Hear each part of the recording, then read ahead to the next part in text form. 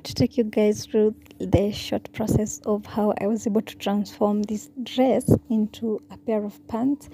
And I know you've probably seen the video already. And the story is I thrifted this dress some time ago and I thought someone might buy it, you know, but I've had it for a while now.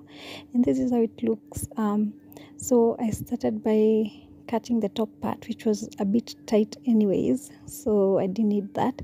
Then i folded the bottom part into half and put a pair of pants that i already love and fits me perfectly um, so that i would be able to cut it. And this is the first cut i made and to be honest i was scared of what i was doing and it looks like nothing.